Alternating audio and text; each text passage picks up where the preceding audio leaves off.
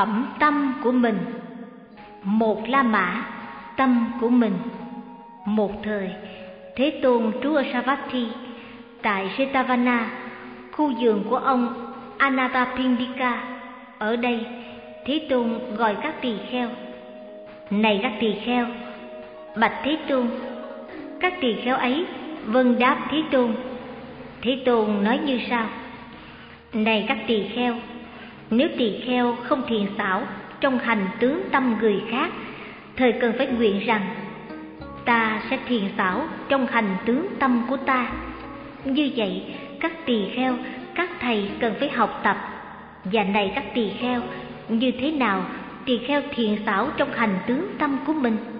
Ví như, này các tỳ kheo, một người đàn bà hay một người đàn ông còn trẻ, trong tuổi thanh niên tánh ưa trang điểm, quan sát hình ảnh mặt mình trong tấm gương thanh tịnh, trong sáng hay trong một bát nước trong. Nếu thấy trên mặt có hột bụi hay dấu nhớp gì, người ấy cố gắng đoạn trừ hột bụi hay dấu nhớp ấy. Nếu không thấy hột bụi hay dấu nhớp, người ấy quan hỷ thỏa mãn. Thật lời đắc cho ta ta thật là trong sạch. Cũng vậy, này các tỳ kheo tỳ kheo quan sát như vậy, được nhiều lợi ích trong các thiền pháp. Có phải ta sống nhiều với tham? Có phải ta sống nhiều với không tham? Có phải ta sống nhiều với tâm có sân? Có phải ta sống nhiều với tâm không có sân? Có phải ta sống nhiều với khôn trầm thủy miên chi phối? Hay ta sống nhiều với khôn trầm thủy miên được từ bỏ? Có phải ta sống nhiều với trạo cử? Hay ta sống nhiều với không trạo cử? Có phải ta sống nhiều với nghi ngờ hay ta sống nhiều vượt qua được nghi ngờ? Có phải ta sống nhiều với phẫn nộ hay ta sống nhiều không bị phẫn nộ? Có phải ta sống nhiều với tâm bị nhiễm ô hay ta sống nhiều với tâm không bị nhiễm ô? Có phải ta sống nhiều với thân nhiệt nóng hay ta sống nhiều với thân không nhiệt nóng? Có phải ta sống nhiều với biến nhát, hay ta sống nhiều với tinh tấn, tinh cần? Có phải ta sống nhiều với không định tĩnh, hay ta sống nhiều với định tĩnh? Này các tỳ kheo, nếu tỳ kheo quan sát như vậy, biết rằng ta sống nhiều với tâm tham, ta sống nhiều với tâm sân, ta sống nhiều với tâm bị khôn trầm tùy miên chi phối, ta sống nhiều với trào cử, ta sống nhiều với nghi ngờ ta sống nhiều với phẫn độ ta sống nhiều với tâm bị nhiễm ô. Ta sống nhiều với tâm thân diệt nóng. Ta sống nhiều với biến giác. Ta sống nhiều với không định tĩnh. Thời tỳ kheo ấy cần phải quyết định, ước muốn, tinh tấn, nỗ lực dũng mãnh, bất thối, chánh niệm, tỉnh giác để đoạn tận các pháp ác bất thiện ấy. Ví như, này các tỳ kheo khi khăn bị cháy hay khi đầu bị cháy, cần phải quyết định ước muốn, tinh tấn, nỗ lực, dũng mãnh bất thối chánh niệm, tỉnh giác để dập tắt khăn ấy hay đầu ấy.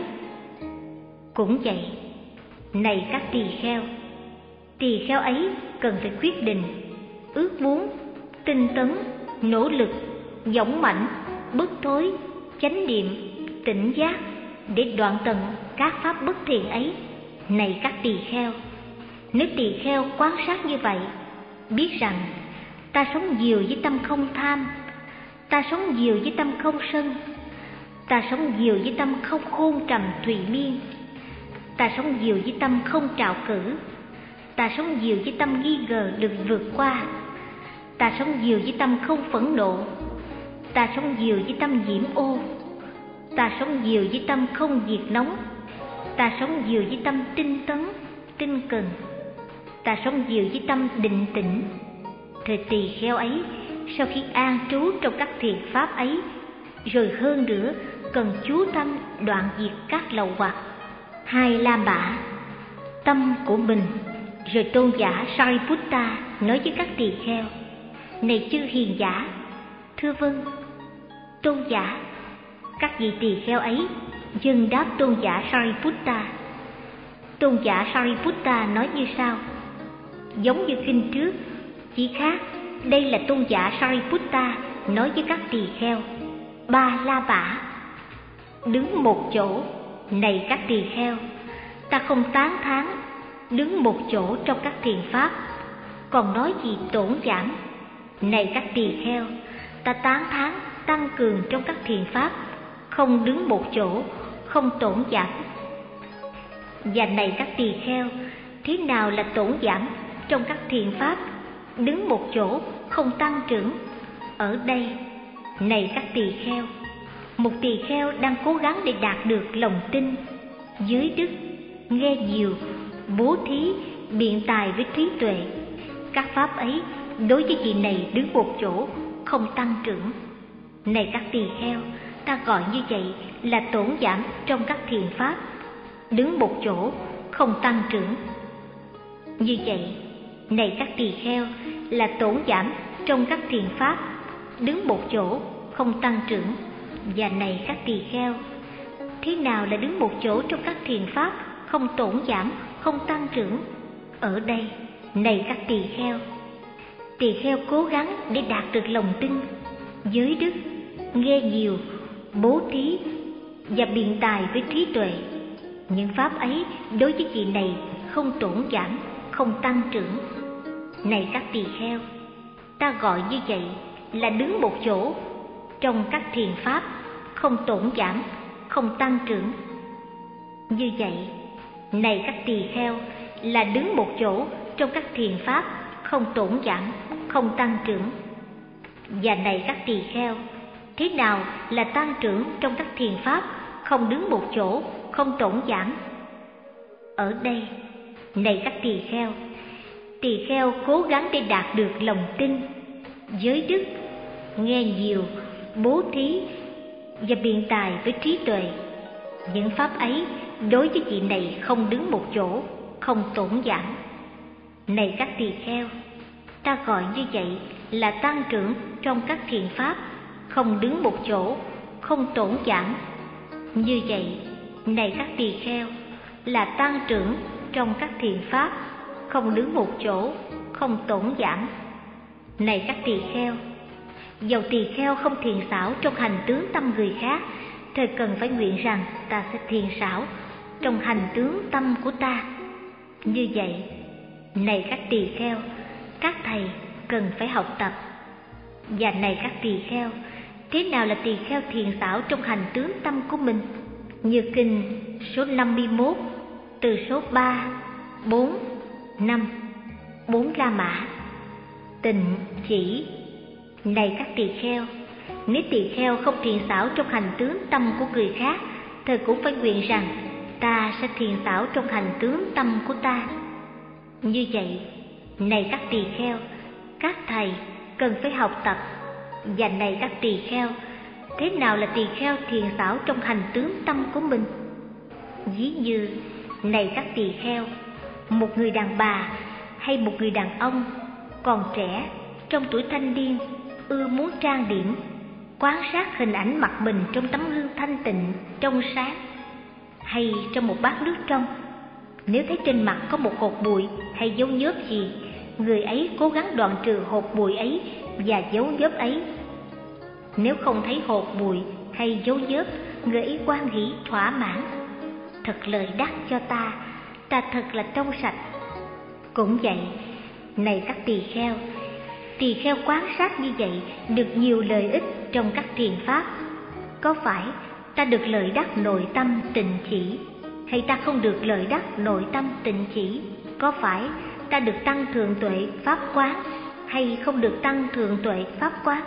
Này các tỳ kheo, nếu tỳ kheo trong khi quán sát biết như sau, ta có được nội tâm tình chỉ, nhưng ta không được tăng thường tuệ pháp quán.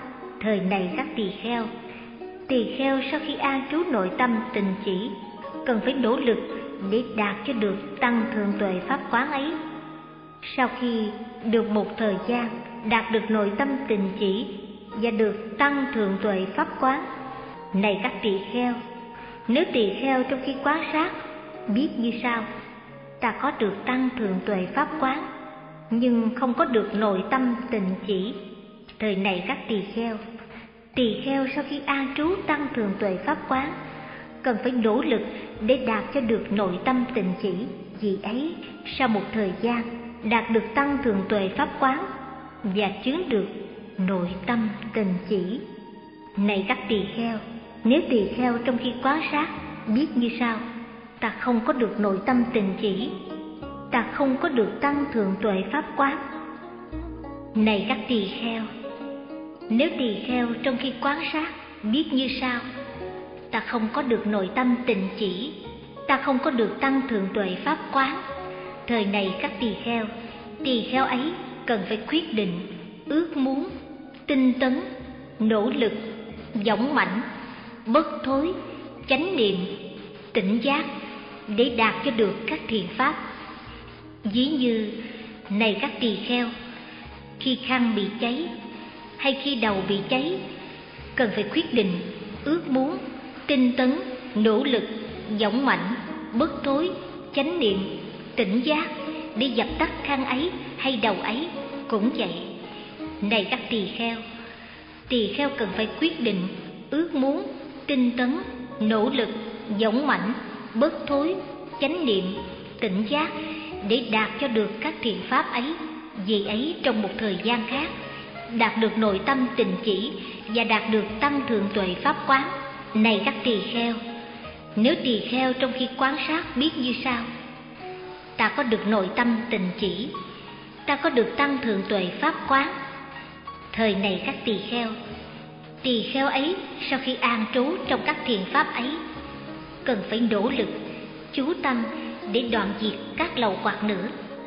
Này các tỳ kheo, ta nói, y có hai loại, nên sử dụng và không nên sử dụng.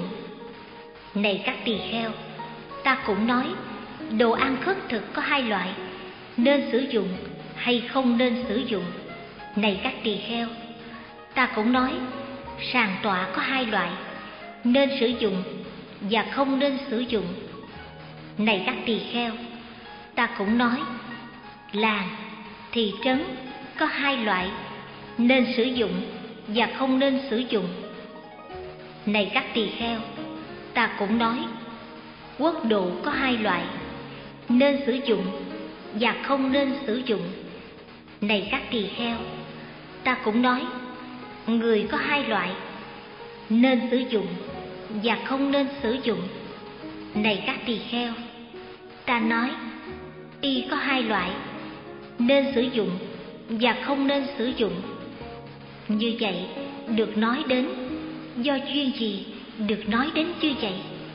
Ở đây, nếu biết được y áo nào, y áo này được ta sử dụng, các pháp bất thiện tăng trưởng các pháp thiện tổn giảm thời y áo như vậy không nên sử dụng.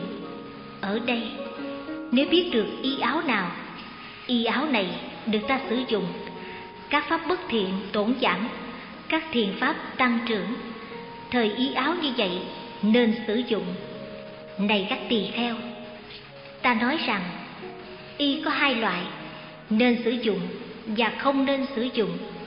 Như vậy, được nói đến do duyên này được nói đến như vậy. Này các tỳ kheo, ta nói rằng đồ ăn khất thực có hai loại, nên sử dụng và không nên sử dụng. Như vậy được nói đến, do chuyên gì được nói đến như vậy? Ở đây, nếu biết được đồ ăn khất thực nào, đồ ăn khất thực này được ta sử dụng. Các pháp bất thiện tăng trưởng, các pháp thiện tổn giảm rồi đồ ăn khất thực như vậy không nên sử dụng. Ở đây, nếu biết được đồ ăn khất thực nào, đồ ăn khất thực này được ta sử dụng. Các pháp bất thiện tổn giảm, các thiền pháp tăng trưởng. Thời đồ ăn khất thực như vậy nên sử dụng. Này các tỳ kheo, ta nói rằng đồ ăn khất thực có hai loại, nên sử dụng và không nên sử dụng. Như vậy được nói đến do chuyên này được nói đến như vậy. Này các tỳ kheo, ta nói rằng sàn tọa có hai loại, nên sử dụng và không nên sử dụng. Như vậy được nói đến, do chuyên gì được nói đến như vậy? Ở đây, nếu biết được sàng tọa nào, sàng tọa này được ta sử dụng, các pháp bất thiện, tăng trưởng. Các pháp thiện, tổn giảm. Thời sàng tọa như vậy, không nên sử dụng ở đây. Nếu biết được sàng tọa nào sàng tọa này được ta sử dụng. Các pháp bất thiện tổn giảm, các pháp thiện tăng trưởng. Thời sàng tọa như vậy, nên sử dụng. Này các tỳ kheo, ta nói rằng sàng tọa có hai loại, nên sử dụng và không nên sử dụng. Như vậy được nói đến, do duyên này được nói đến như vậy. Này các tỳ kheo, ta nói rằng làng thị trấn có hai loại, nên sử dụng và không nên sử dụng. Như vậy được nói đến, do chuyên gì được nói đến như vậy? Ở đây, nếu biết được làng, thị trấn nào, làng, thị trấn này được ta sử dụng, các pháp bất thiện tăng trưởng, các pháp thiện bị tổn giảm. Thời làng thị trấn như vậy không nên sử dụng. Ở đây, nếu biết được làng thị trấn nào làng thị trấn được ta sử dụng. Các pháp bất thiện tổn giảm, các pháp thiện tăng trưởng. Thời làng thị trấn như vậy nên sử dụng. Này các tỳ kheo, ta nói rằng, làng thị trấn có hai loại, nên sử dụng và không nên sử dụng. Như vậy được nói đến, do chuyện này được nói đến như vậy? Này các tỳ kheo, ta nói rằng quốc độ có hai loại, nên sử dụng và không nên sử dụng. Như vậy được nói đến, do chuyên gì được nói đến như vậy? Ở đây, nếu biết được quốc độ nào, quốc độ này được ta sử dụng, các pháp bất thiện tăng trưởng, các thiện pháp tổn giảm. Thời quốc độ như vậy không nên sử dụng. Ở đây, nếu biết được quốc độ nào, quốc độ này được ta sử dụng, các pháp bất thiện tổn giảm các thiền pháp tăng trưởng, thời quốc độ như vậy nên sử dụng. Này các tỳ kheo, ta nói rằng quốc độ có hai loại, nên sử dụng và không nên sử dụng. Như vậy được nói đến, do chuyên này được nói đến như vậy. Này các tỳ kheo, ta nói rằng người có hai loại, nên sử dụng và không nên sử dụng. Như vậy được nói đến do chuyên gì được nói đến như vậy? Ở đây, nếu biết được người nào, người này được ta sử dụng, các pháp bất thiện tăng trưởng, các pháp thiện tổn giảm. Thời người như vậy không nên sử dụng. Ở đây, nếu biết được người nào, người này được ta sử dụng, các pháp bất thiện tổn giảm, các thiện tăng trưởng. Thời người dạy nên sử dụng này các tỳ kheo ta nói rằng, người có hai loại, nên sử dụng và không nên sử dụng. Như vậy, được nói đến, do duyên này được nói đến như vậy. Năm la mã, tổn giảm. Ở đây, tôn giả sariputta gọi các tỳ kheo này chư hiền tỳ kheo thưa vâng hiền giả. Các tỳ kheo ấy vâng đáp tôn giả sariputta tôn giả sariputta nói như sau. Có người bản tánh tổn giảm, có người bản tánh là không tổn giảm. Này chư hiền, đừng nói đến như vậy. Cho đến như thế nào? Này chư hiền, người bản tánh là tổn giảm được thế tôn nói đến. Cho đến như thế nào? Này chư hiền, người bản tánh là không tổn giảm được thế tôn nói đến.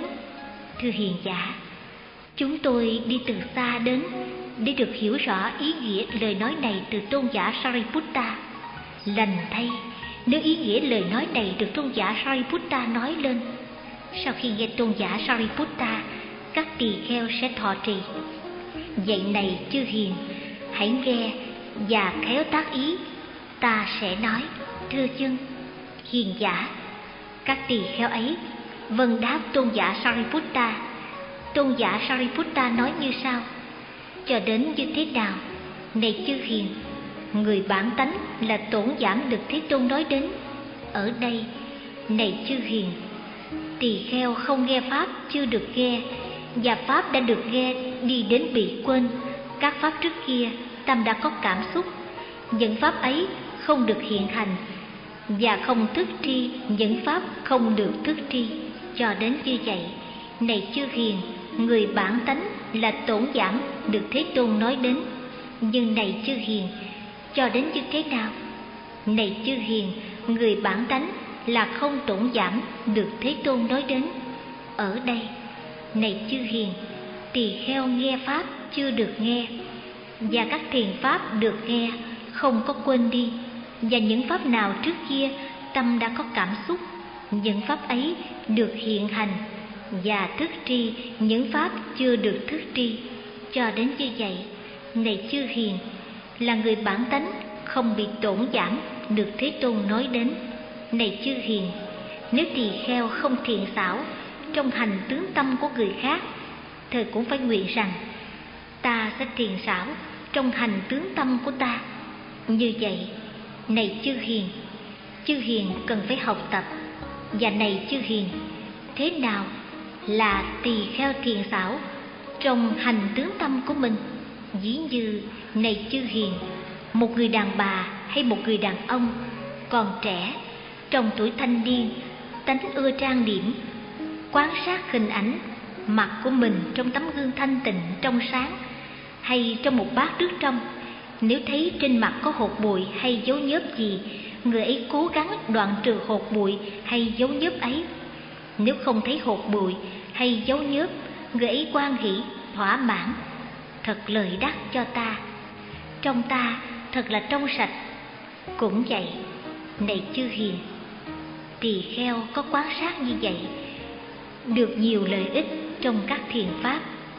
Có phải ta sống nhiều với không tham? Không biết trong ta có pháp này hay không có. Có phải ta sống nhiều với tâm không sân? Không biết trong ta có pháp này hay không có? Có phải ta sống nhiều với hôn trầm thủy miên đã từ bỏ? Không biết trong ta có pháp này hay không có? Có phải ta sống nhiều với không trạo cử? Không biết trong ta có pháp này hay không có? Có phải ta sống nhiều với nghi ngờ đã được vượt qua? Không biết trong ta có pháp này hay không có? Có phải ta sống nhiều với không phẫn độ không biết trong ta có pháp này hay không có? Có phải ta sống nhiều với tâm không nhiễm ô? Không biết trong ta có pháp này hay không có. Có phải ta có được nội tâm pháp thị không biết trong ta có pháp này hay không có. Có phải ta có được nội tâm an chỉ? Không biết trong ta có pháp này hay không có. Có phải ta có được tối thắng tuệ pháp quán? Không biết trong ta có pháp này hay không có. Này chư hiền, nếu gì tỳ kheo trong khi quán sát, không thấy có trong từ ngã tất cả thiền pháp này, thời kỳ khéo ấy cần phải quyết định, ước muốn, tinh tấn, nỗ lực dũng mãnh bất thối và chánh niệm, tỉnh giác để có được tất cả thiền pháp này. Ví như, này chư hiền, khi khăn bị cháy hay khi đầu bị cháy, cần phải quyết định, ước muốn, tinh tấn, nỗ lực dũng mãnh bất thối và chánh niệm tỉnh giác để dập tắt khăn ấy hay đầu ấy. Cũng vậy, này chư hiền, tỳ kheo ấy cần phải quyết định, ước muốn, tinh tấn, nỗ lực dũng mãnh, bất thối, chánh niệm, tỉnh giác để có được tất cả thiền pháp này. Này chư hiền, nếu tỳ kheo trong khi quan sát thấy trong tượng gã có một số thiền pháp và không thấy có một số thiền pháp thề này chư hiền, đối với các thiền pháp nào dễ ấy thấy có trong tượng ngã, dễ ấy an trú trong các thiền pháp ấy.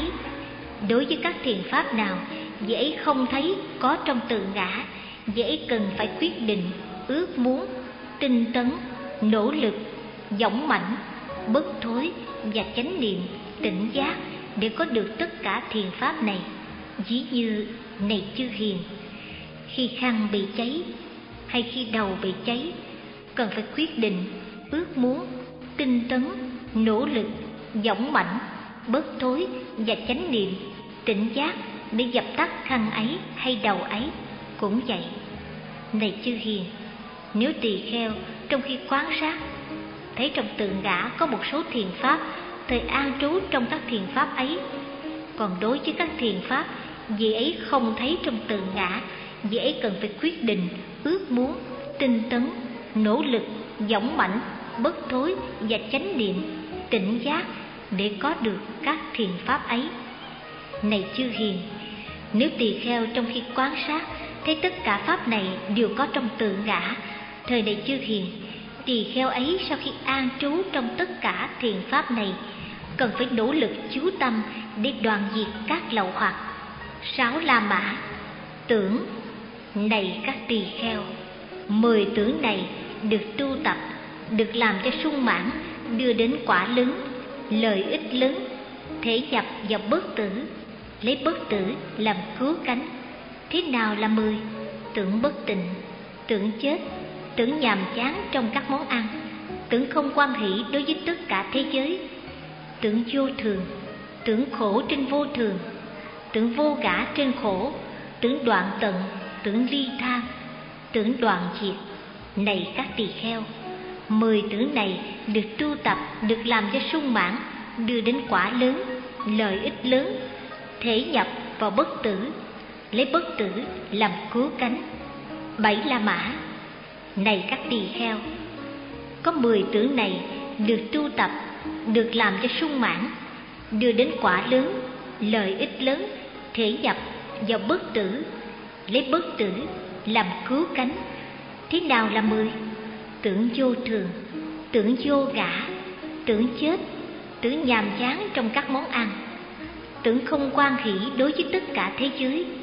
Tưởng xương, Tưởng trùng ăn, Tưởng xanh bầm Tưởng đứt nẻ, Tưởng trương phòng.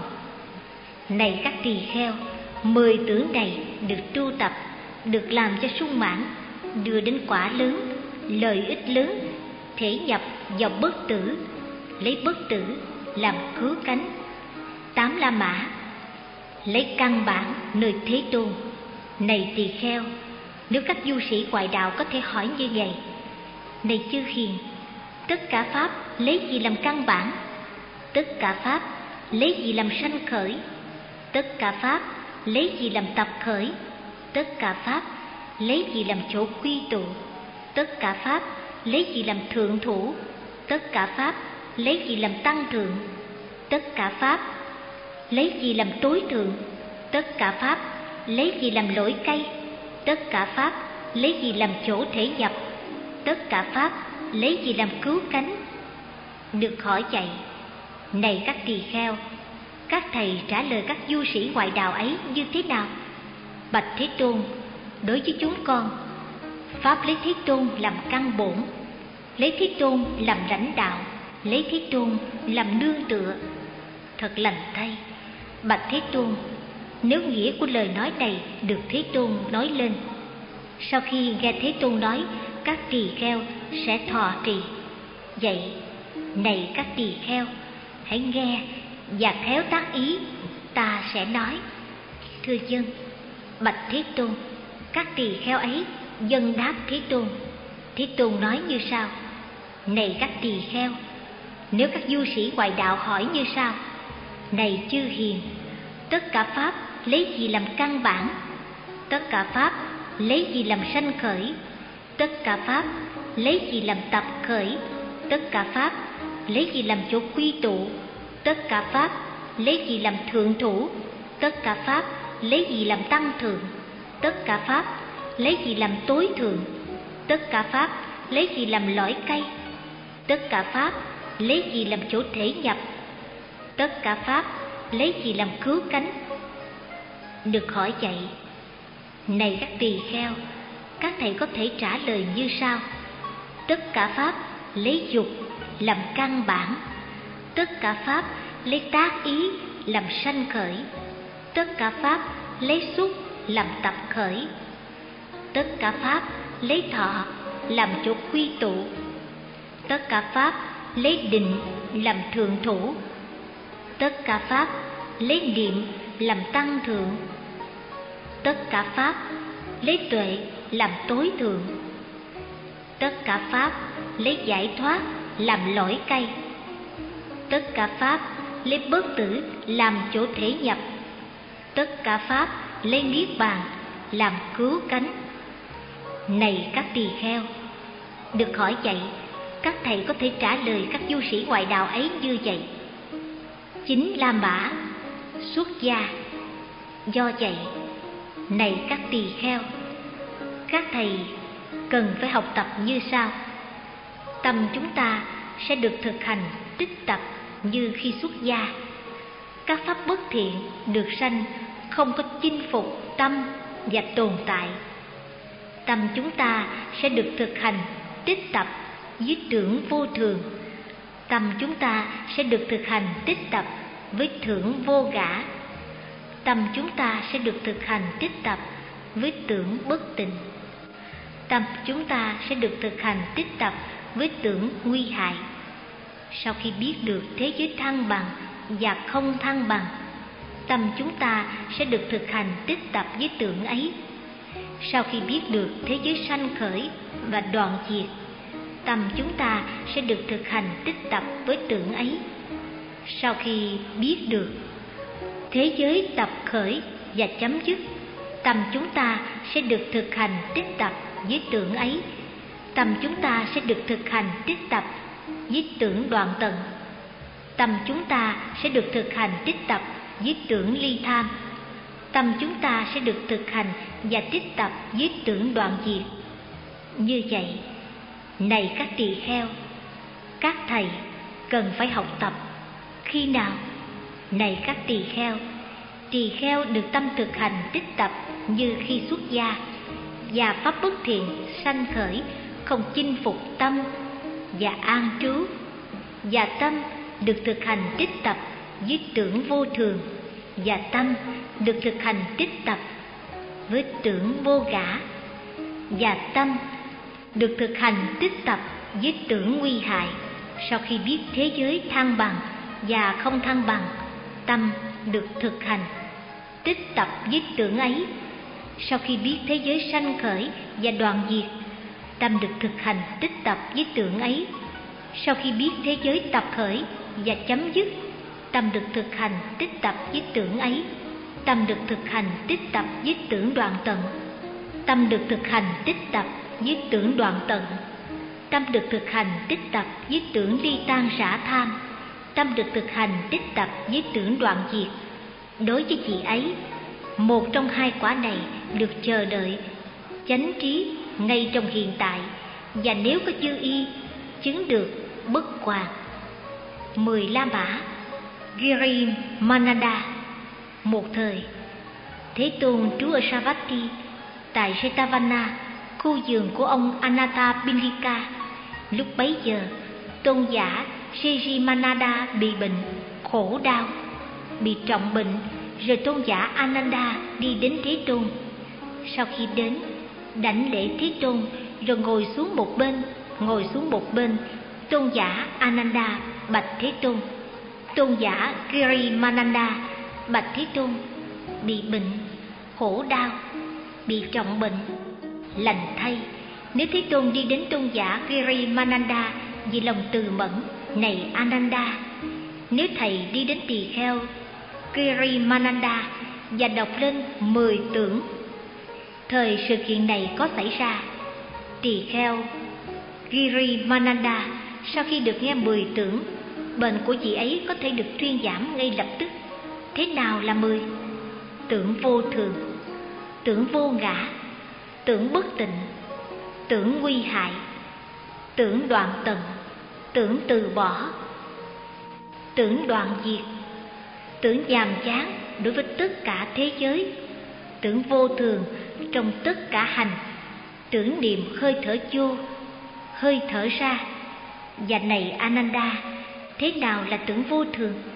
Ở đây này ananda tỳ kheo đi đến khu rừng hay đi đến gốc cây hay đi đến ngôi nhà trống quán sát như sau. Sắc là vô thường thọ là vô thường tưởng là vô thường hành là vô thường thức là vô thường. Như vậy vì ấy trú tùy. quán vô thường. Trong năm thủ uẩn này này ananda đây gọi là tưởng vô thường. Và này, ananda, thế nào là tưởng vô ngã? Ở đây, này, ananda, tỳ kheo đi đến khu rừng, hay đi đến gốc cây, hay đi đến ngôi nhà trống, quán sát như sau. Mắt là vô ngã, các sắc là vô ngã, tai là vô ngã, các tiếng là vô ngã, mũi là vô ngã các hương là vô ngã, lưỡi là vô ngã, các vị là vô ngã thân là vô ngã, xúc là vô ngã, ý là vô ngã, các pháp là vô ngã. Này ananda, đây gọi là tưởng vô ngã. Và này ananda, thế nào là tưởng bất tịnh? Ở đây, này ananda, tỳ kheo quan sát thân này từ bàn chân trở lên, từ đỉnh tóc trở xuống, được da bao bọc, đầy những vật bất tịnh, sai biệt như trong thân này có tóc, lông, móng, răng, da thịt, dây gân, xương, tủy, thận, quả tim, gan, hoành cách mô, lá lách, phổi, ruột, màng ruột, bụng, phân, mật đàm, niêm dịch, mũ, máu, mồ hôi mỡ nước mắt mỡ da, nước miếng, nước mũi, nước ở khớp xương, nước tiểu. Như vậy vì ấy trú quán bất tịnh trong thân này. Này ananda, đây gọi là tưởng bất tịnh. Và này ananda, thế nào là tưởng nguy hại? Ở đây, này ananda, tỳ kheo đi đến khu rừng, đi đến gốc cây hay đi đến ngôi nhà trống, quán sát như sau nhiều khổ là thân này nhiều sự nguy hại như vậy trong thân này nhiều loại bệnh khởi lên ví như bệnh đau mắt bệnh đau về tai bệnh đau mũi bệnh đau lưỡi bệnh đau thân bệnh đau đầu bệnh đau dành tai bệnh đau miệng bệnh đau răng bệnh ho bệnh suyễn bệnh sổ mũi bệnh sốt bệnh già yếu bệnh đau bụng bất tỉnh kiết lỵ bệnh đau bụng quặn bệnh thổ tả bệnh hủi bệnh ung nhọt bệnh ghẻ lở, bệnh ho lao bệnh trúng gió bệnh da bệnh gứa, bệnh da đóng vảy bệnh hắc lào lan ben bệnh ghẻ bệnh khuyết đàm mật trong máu bệnh đái đường bệnh trĩ bệnh mụn nhọt bệnh ung nhọt ung loét các bệnh khởi lên do mật bệnh khởi lên từ đàm niêm dịch bệnh khởi lên từ gió bệnh do hòa hợp các thể dịch sinh ra, các bệnh do thời tiết sanh các bệnh do làm việc quá độ sanh các bệnh do sự trùng hợp các sự kiện, các bệnh do nghiệp thuần thục, lạnh, nóng, đói khát, đại tiện, tiểu tiện. Như vậy, chị ấy sống quá sự nguy hại trong thân này. Này ananda, đây gọi là các tưởng nguy hại và này, ananda, thế nào là các tưởng đoạn tận? Ở đây, này, ananda, tỳ kheo không có chấp nhận dục tầm đã sanh, từ bỏ, tẩy sạch chấm dứt đi đến không sanh trưởng, không có chấp nhận sân tầm đã sanh, từ bỏ, tẩy sạch, chấm dứt, đi đến không sanh trưởng, không có chấp nhận hại tầm đã sanh không có chấp nhận, các ác bất thiện pháp tiếp tục khởi lên, từ bỏ, tẩy sạch, chấm dứt, đi đến không sanh trưởng. Này ananda, đây được gọi tưởng đoàn tận. Và này ananda, thế nào là từ bỏ? Ở đây, này ananda, tỳ kheo đi đến khu rừng, hay đi đến gốc cây, hay đi đến ngôi nhà trống, suy xét như sau đây là an tịnh. Đây là thù thắng, tức là sự an chỉ tất cả hành, sự từ bỏ tất cả sanh y, ái diệt ly tham, niết bàn. Và này, ananda, thế nào là tưởng đoạn diệt ở đây, này, ananda, tỳ kheo đi đến khu rừng, hay đi đến gốc cây, hay đi đến ngôi nhà trống, suy xét như sau. Đây là an tình đây là thù thắng, tức là sự an chỉ tất cả hành, sự từ bỏ tất cả sanh y ái diệt, ly tham, niết bàn. Và này, ananda, thế nào là tưởng không ưa thích trong tất cả thế giới? Ở đây, này Ananda, phàm ở đời có những chấp thủ phương tiện, tâm quyết định, thiên kiến. Tùy miên nào, tỳ kheo từ bỏ chúng, không ưa thích không chấp thủ. Này Ananda, đây gọi là tưởng không quan hỷ đối với tất cả thế gian. Và này, các tỳ kheo, thế nào là tưởng vô thường trong tất cả hành? Ở đây, này Ananda, tỳ kheo bực phiền, xấu hổ, nhàm chán đối với tất cả hành. Này Ananda, đây gọi là tưởng vô thường trong tất cả hành. Và này Ananda, thế nào là tưởng niệm hơi thở vào, hơi thở ra. Ở đây, này Ananda, tỳ kheo đi đến khu rừng hay đi đến gốc cây hay đi đến ngôi nhà trống, ngồi kiết già, lưng thẳng để niệm trước mặt. Chánh niệm vị ấy thở vô chánh niệm vị ấy thở ra. Thở vô dài vị ấy rõ biết. Tôi thở vô dài. Thở ra dài dễ rõ biết, tôi thở ra dài. Hay thở vô ngắn, dễ rõ biết, tôi thở vô ngắn. Hay thở ra ngắn, dễ rõ biết, tôi thở ra ngắn. Cảm giác toàn thân, tôi sẽ thở vô, dễ tập. Cảm giác toàn thân, tôi sẽ thở ra, dễ tập. An tịnh thân hành, tôi sẽ thở vô, dễ tập. An tịnh thân hành, tôi sẽ thở ra dễ tập, cảm giác hỷ thọ, tôi sẽ thở vô. Dễ tập, cảm giác hỷ thọ, tôi sẽ thở ra. Dễ tập, cảm giác lạc thọ, tôi sẽ thở vô. Dễ tập, cảm giác lạc thọ, tôi sẽ thở ra. Dễ tập, cảm giác tâm hành, tôi sẽ thở vô. Dễ tập, cảm giác tâm hành, tôi sẽ thở ra. Dễ tập, an tịnh tâm hành tôi sẽ thở vô. Dễ tập, an tịnh tâm hành, tôi sẽ thở ra. Dễ tập, cảm giác về tâm, tôi sẽ thở vô. Dễ tập, cảm giác về tâm, tôi sẽ thở ra. Dễ tập, với tâm hân hoan, tôi sẽ thở vô. Dễ tập, với tâm hân hoan, tôi sẽ thở ra. Dễ tập, với tâm định tĩnh, tôi sẽ thở vô. Dễ tập, với tâm định tĩnh tôi sẽ thở ra. Dễ tập với tâm giải thoát, tôi sẽ thở vô. Dễ tập với tâm giải thoát, tôi sẽ thở ra. Dễ tập, quán vô thường, tôi sẽ thở vô. Dễ tập, quán vô thường, tôi sẽ thở ra. Dễ tập, quán ly tham tôi sẽ thở vô. Dễ tập, quán ly tham tôi sẽ thở ra. Dễ tập, quán đoạn diệt tôi sẽ thở vô. Dễ tập, quán đoàn diệt, tôi sẽ thở ra. Dễ tập, quán từ bỏ, tôi sẽ thở vô. Dễ tập, quán từ bỏ, tôi sẽ thở ra. Dễ tập, này ananda, đó là niệm hơi thở vô, hơi thở ra.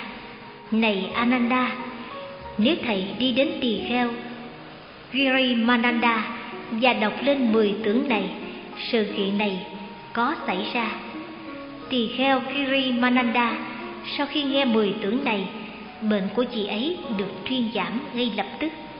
Rồi tôn giả Ananda sau khi học thuộc từ Thế Tôn mười tưởng này đi đến tôn giả Kiri Mananda sau khi đến, nói lên với tôn giả Kiri Mananda mười tưởng này và tôn giả Kiri Mananda sau khi nghe mười tưởng này bệnh của chị ấy được thuyên giảm ngay lập tức tôn giả Girimananda được thoát khỏi bệnh ấy, được đoạn tận như vậy là chứng bệnh ấy của tôn giả Girimananda.